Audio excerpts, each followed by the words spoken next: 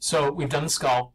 The vertebral column was the second part of our uh, axial skeleton, and then the last portion is our thoracic cage. Right? So skull, vertebral column, and thoracic cage. As we move into our vertebral column, right, the vertebral column are your vertebrae, your spine, right? The pieces that make up your spine. Uh, these are what are going to uh, add some stability to our axis, uh, as well as provide a um, support or uh, protection for your spinal cord. Your spinal cord runs through your vertebral column, and so it provides uh, protection for that uh, very delicate piece.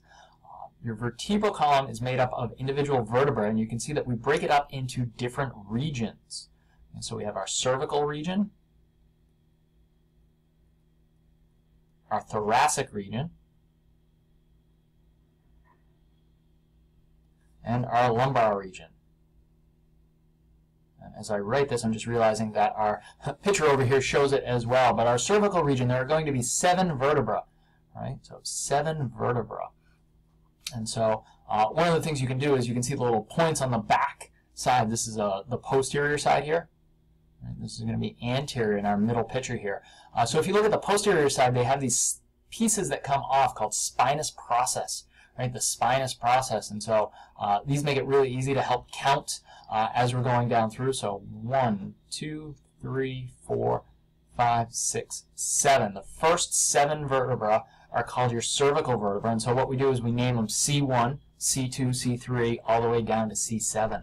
Uh, if you want to find a bony landmark, right, tilt your head forward and rub your fingers down your neck. That first bump that you feel at the base of your neck is the spinous process of C7. It's this bump right here, and you can see how much bigger that spinous process is than the rest of them. Right? And the curve actually here starts to come out. So this is our spinous process of C7. That's a good bony landmark for you to sort of help orient as to where you are. Right? Our thoracic vertebra, uh, there are going to be 12 of these. Uh, all of our ribs are attached to our thoracic vertebra. We have 12 pairs of ribs when we look at our thoracic cage. So our thoracic vertebrae are going to be the ones that have our ribs, and there are going to be 12 of these, right? 12 vertebrae. Again, we name it T1, T2, T3, all the way down. Right? From there, we go to our lumbar vertebra. There are going to be five lumbar vertebrae, L1, 2, 3, 4, and L5. Then you have your sacrum and your coccyx. The sacrum is what attaches to your, or your hip bones, your os coxa, uh, attached to your sacrum to create your pelvis, right? Uh, and then you have your coccyx, coccyx, which is most likely considered your tailbone. Most of you know it as your tailbone. The sacrum you can see here is labeled S1 through S5, so it's actually five vertebrae that are fused together to form this one piece. Your coccyx is actually four. Right? There were four pieces or four vertebrae that fused together to form this one piece. Right? So your sacrum and your coccyx.